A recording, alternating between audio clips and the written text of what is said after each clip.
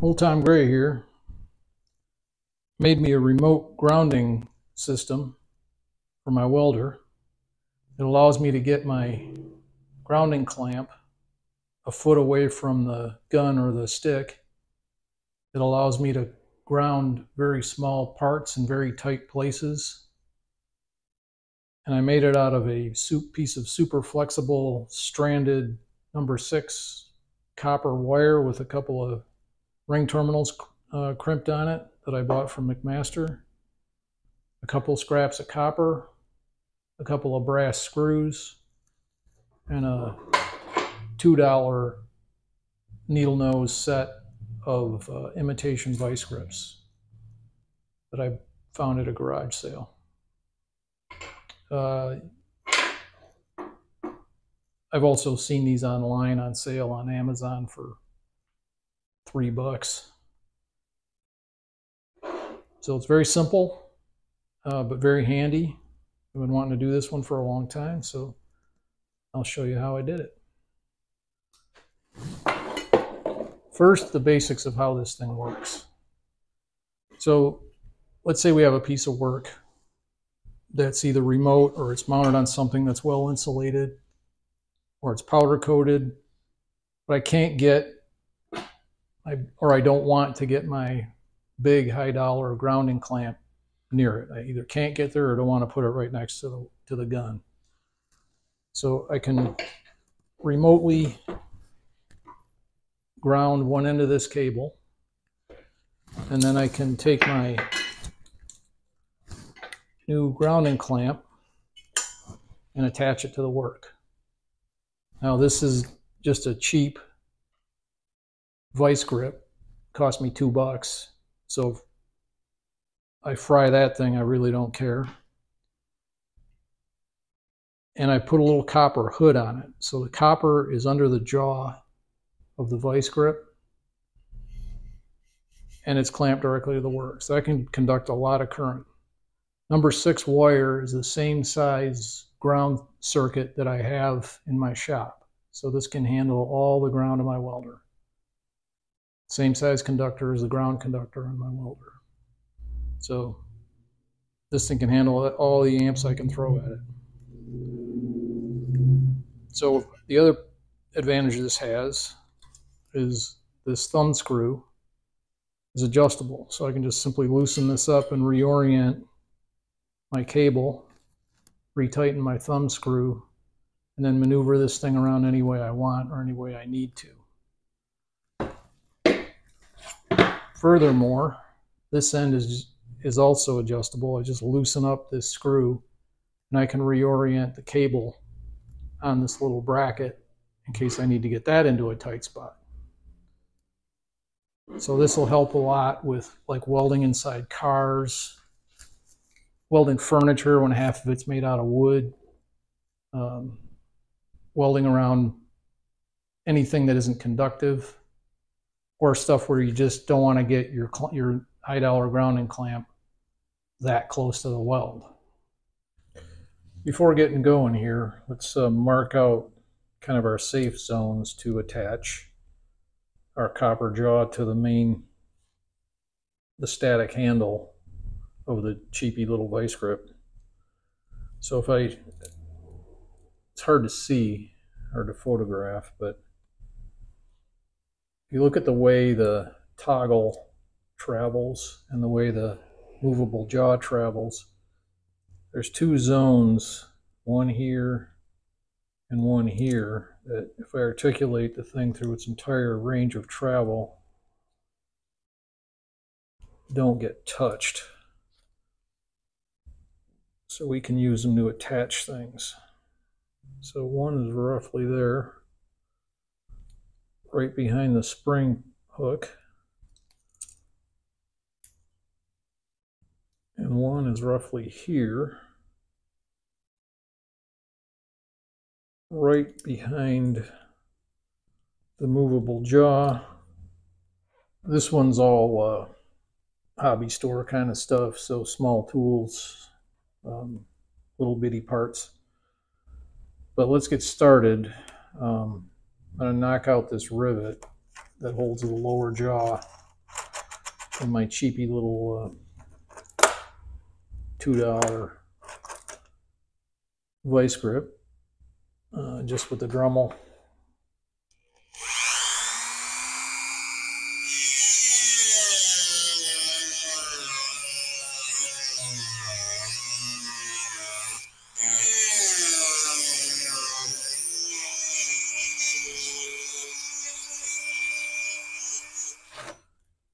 Okay, once you grind away a, a, rivet, sometimes it's hard to see where it is. So I'm just going to put it on this little spacer from my press here and just whack the other end of it. And you can see the outline of it pop out of the grind. And then I'm just going to take a woodworking tool here and nail set and drive it out.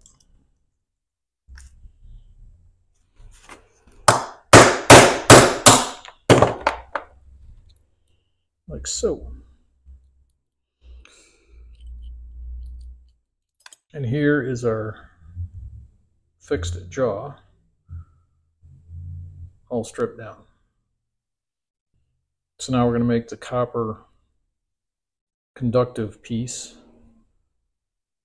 out of this piece of inch by, I don't know, looks like about 16 or 14 gauge copper bus bar to make small patterns like this, like we need for our copper jaw. Uh, easiest way to do it, or an easy way to do it, is just take a piece of masking tape, and this is just wide masking tape. I bought it at a local big box store, and tape it over the surfaces that you want to cover. In our case, it's from the pivot hole around this top hole and then under the jaw, under the fixed jaw. So pair of scissors. Stick it on there. Okay, and I'm gonna cut. I'm gonna cut this away with a with a knife and scissors um, to get it all prettied up the way I want it. There's my target area, swaddled in masking tape, and the hole marked for the pivot. Now I'm going to carefully peel this off here with the same tool I cut it with, which is my X-Acto knife, and stick it to my bus bar. Okay, there's the pattern. Uh, but before I stick it on here, I'm going to clean this before I start folding it. Just a piece of sanding sponge.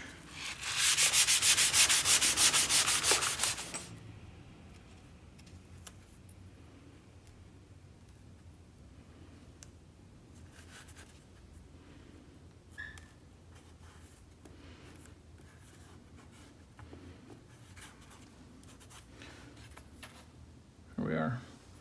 I'm going to cut that with aircraft snips.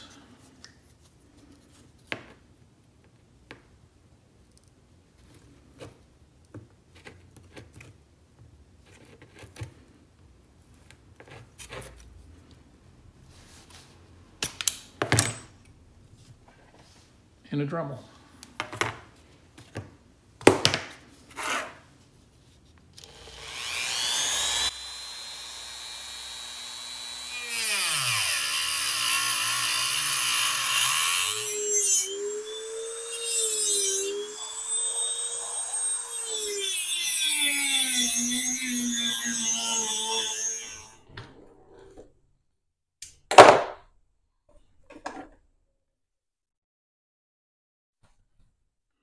Okay, there it is with the tape peeled off. I just drilled a number 8 clearance hole in here because the pin in the uh, vice grip is roughly number 10.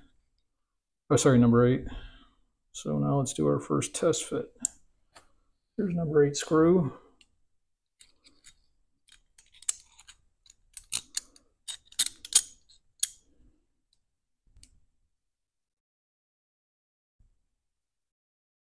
Okay.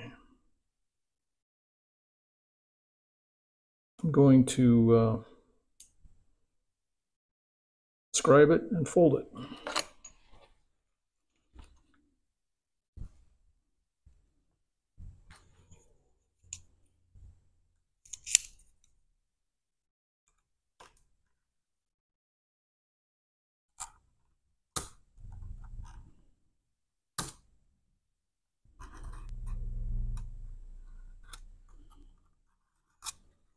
Most critical fold is one that goes under the jaw. Obviously, that's where the conduct the conduction takes place. So just do that in my little hobby vise here.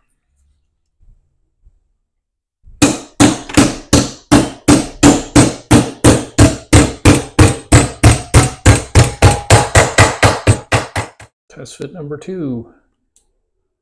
There's our little copper jaw.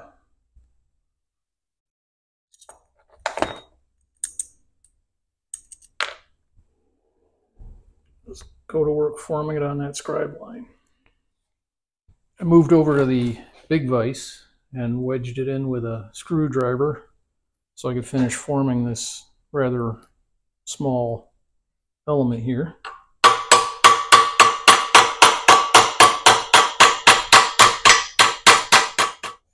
So there it is in rough form. Now to keep it, to help keep the copper over the jaw. I'm going to put it in a little hobby vise here and just tweak it over that way a little bit like that and that'll help force the steel jaw inside the copper once the screws tightened up. So I'm to I'm going to work this a little bit more with the hammer and then I'm going to clean up these edges and sand everything and round everything off and make it nice and smooth.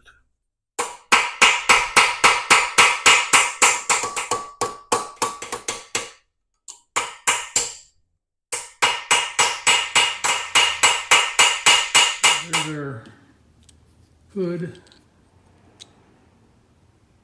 sanded down to like 60 grit just with the Dremel and all the edges are nice and smooth.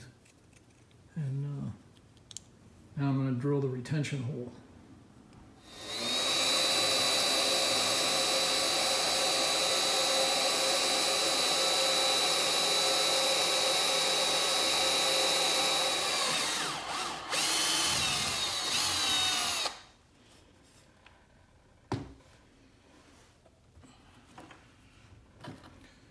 I'm going to fit the hood,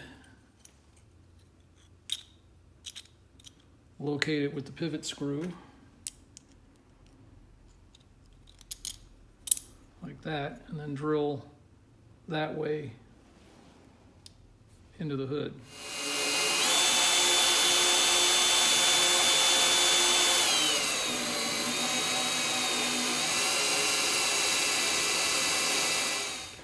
teensy weensy bit of Anchorlube.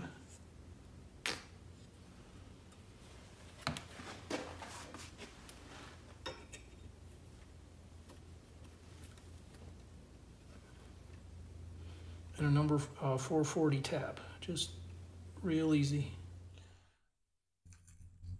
All right.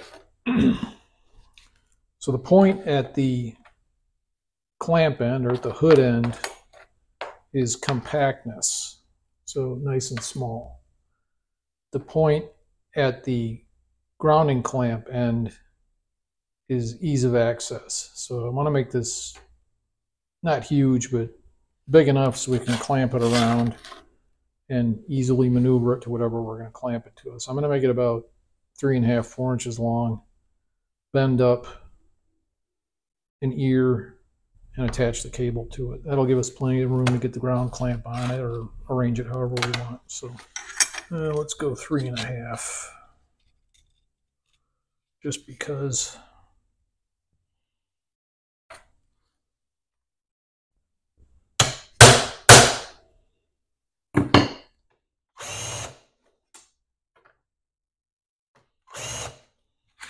And again, I'm going to clean it while it's still flat.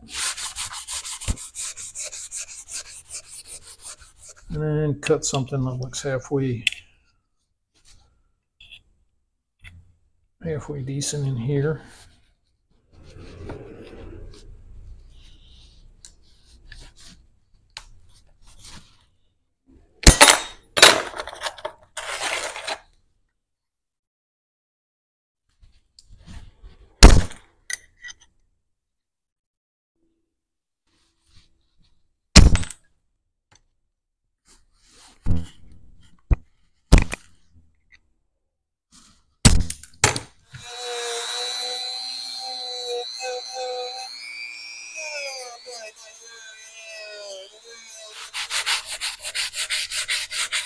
I'm just going to bend an ear over, just eyeballing this.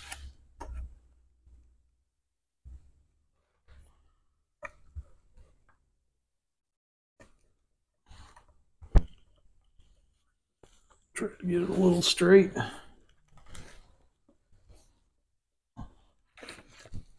Reassembly.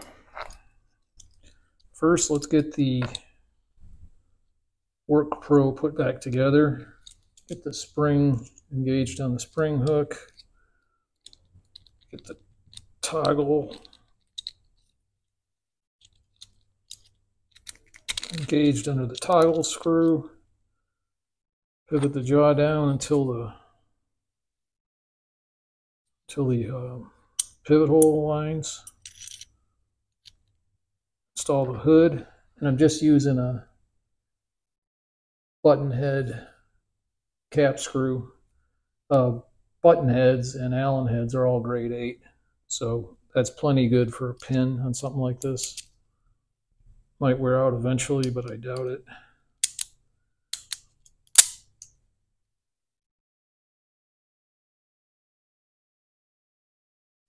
That's it. And then I'm going to put on the cable, washer. I'm using a brass thumb nut.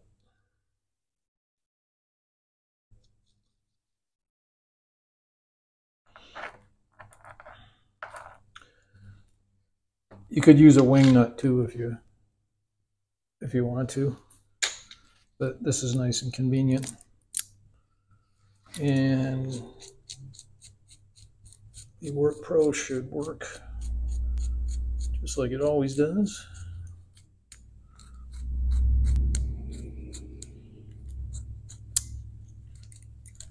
Yep. Okay. So there is our hooded grounding clamp. Now the now the other end, a uh, quarter inch brass screw.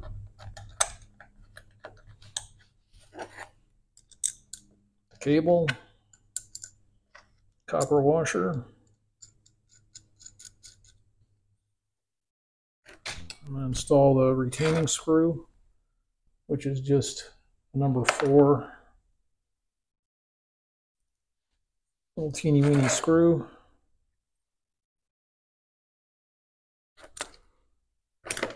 Tighten it up with a little teeny weeny screwdriver.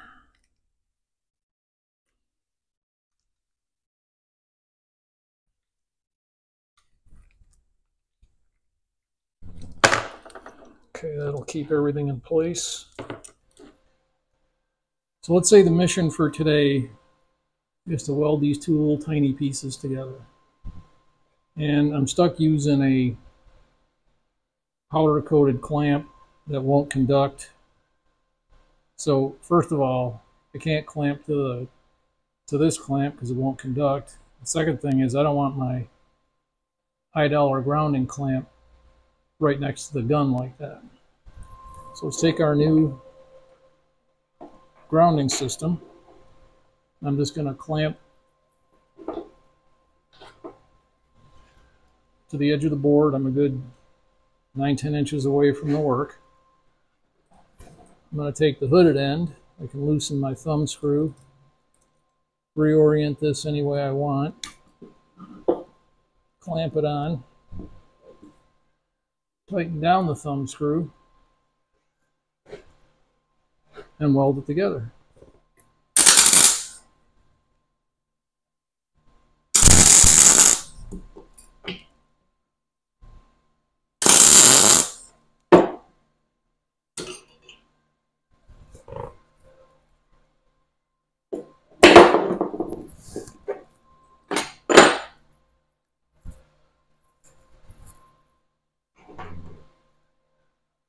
Voila.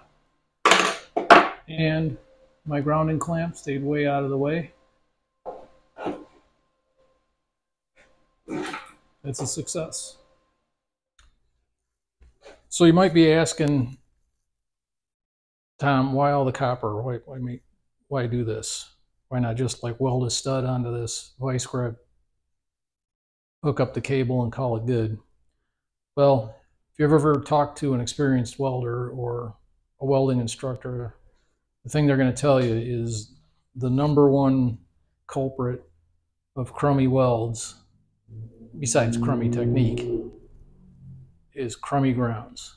Um, you got a bad ground, you're going to get a bad weld. And if you're in a tight spot or you're welding something that's really teeny weeny, you generally only get one shot at it. So you don't want to get in there, crawl inside something, or or get your setup done on some one-off piece. Arc it only to see your weld break because you didn't have a good ground. So this is all copper from this little hood on the vice grip all the way to the bracket for the welding the welder's grounding clamp. So copper, copper, copper. Good grounds, good conductors, good welds. Well, I'm going to leave this one here. Um, I'll be using this on projects in the future. Um, I've been wanting to do this for a long time. Finally just said I'll do just get around to do it. So I'm going to leave this one here and it's on to the next project. I will see you there and then.